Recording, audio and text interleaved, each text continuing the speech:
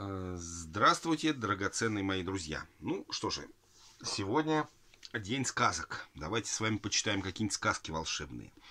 Ну, мы с вами еще цыганские сказки не разобрали до конца. У цыганов там очень много, своеобразные. А то нам, нам уже с вами надоели эти братья Гримы, Гримуальды, стар, старые немецкие пьяницы, которые нас пугают всякими ведьмами, людоедами. Ну, все-таки надо разнообразить. Сказки народов мира, друзья мои. У нас с вами такая рубрика. ну, и сегодня для разнообразия я вот... Давайте северные сказки. Э, сказки корякские.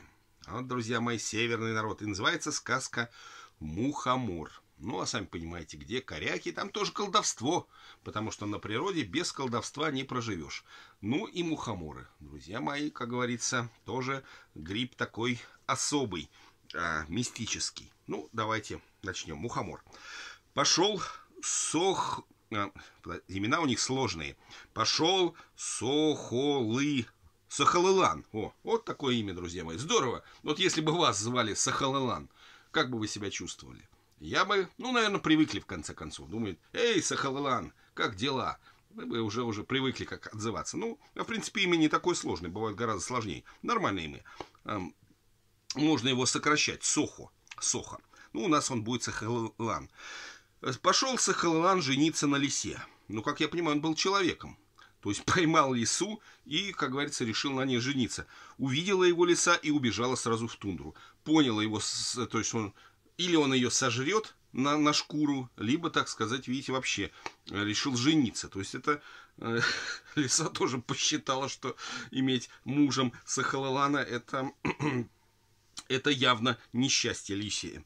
Пошел Сахалалан жениться на Куропатке взял в жены Куропатку. Прожил с ней один день и убежала Куропатка домой. Да, друзья мои, видимо, он был действительно как бы какой-то э, корякский извращенец. Плюс еще, наверное, вонючий такой, что даже Куропатка. Ну уж попалась, так попалась. Но, видно, все равно ночку переночевала и рванула себе в тундру, сказала, ну дела, ну дела, такого не расскажешь никому. Пошел Сахалаван свататься а невеста к другому жениху убежала. Ну, наконец-то решился не на зверях жениться, как говорится, не на птицах, а на женщине. Ну, женился Сахалан на женщине, поставил полог. А, полог, какой-то полог поставил. Ну, типа, наверное, юрту такую. А, родила жена двух детей, сына и дочь. Показала сына мужу, а дочь спрятала за полог. Еще родила жена двух сыновей, а дочь все время хоронит за пологом, то есть не показывает этому Сахалану.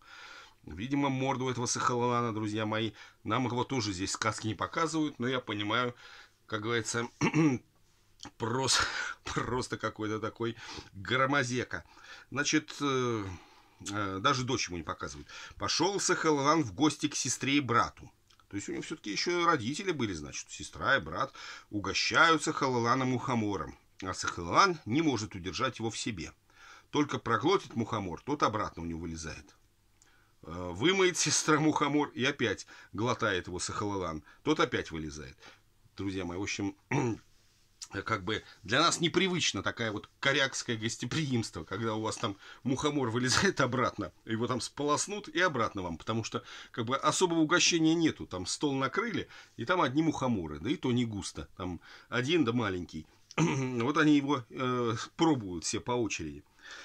Значит, говорит брат Ича Сахалалану, это твоя жена э, стоит, ты не, ты не знаешь, э, что-то строит.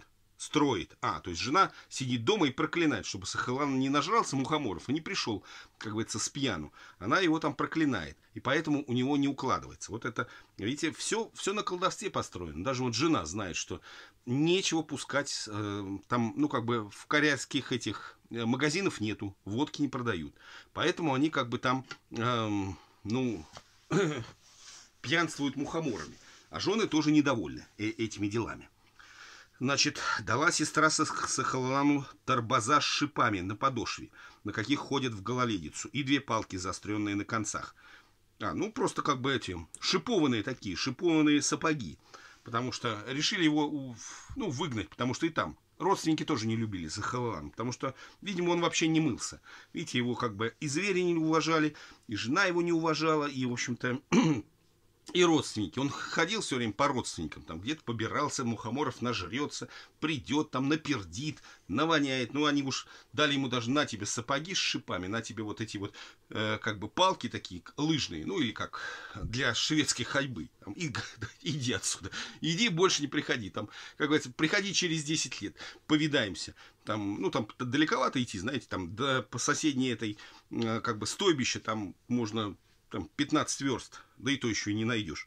Думают, иди, иди там, хоть еще тебя этого, а, как бы, пурга бы замела вообще следы, чтобы ты вообще пропал. Этот Сахалал, он такой, в общем, вонючка был, никто его не любил.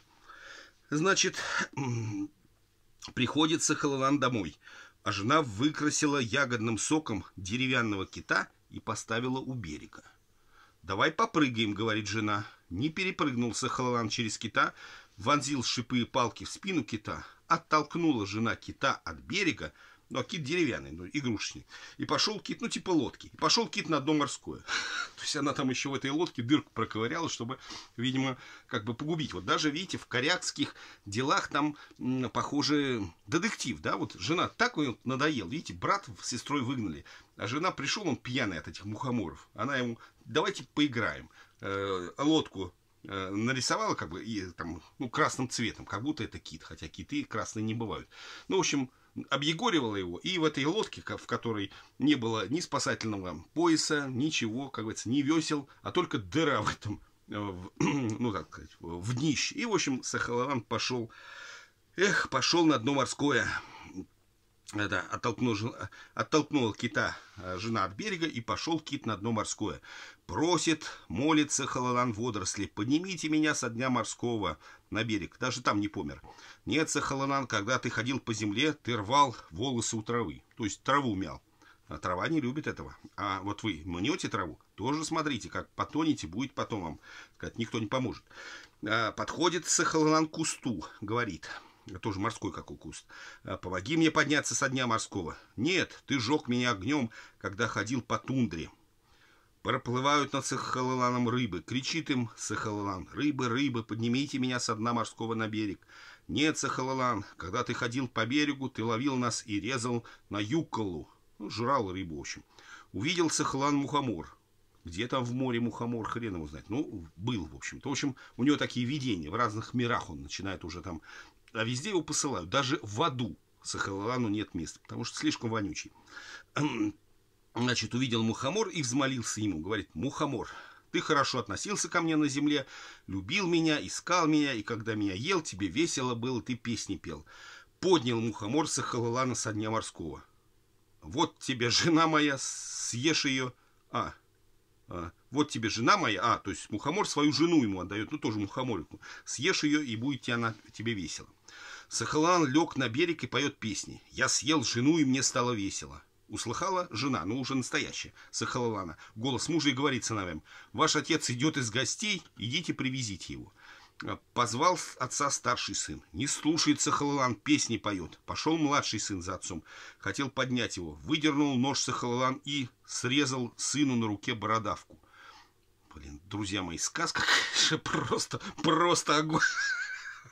У меня уже мозги заплели там эти Сахалалана. Лучше бы сразу его грохнули, еще при рождении, потому что, ну, такого тут в этих навидаешься. Увидала мать облитого кровью сына и разрезала сама себя на куски и сказала, «Ноги и руки мои вечерней звезде, голова моя утренней звезде». Поет Сахалалан, чтобы э, жена его услыхала с того света. То есть жена себя зарезала еще. Ой, Господи, поет он, поет, силы его покидают. Подошел к нему шаман, плюнул ему в рот, и запел он так громко, что услыхала его жена с того света и удивилась. Как он мог сюда попасть ее муж? Сделал Сахалан летающую байдару из моржового клыка и полетел к умершей жене. И привез ее домой к своим детям. Проснулся утром Сахалан с тяжкой головой.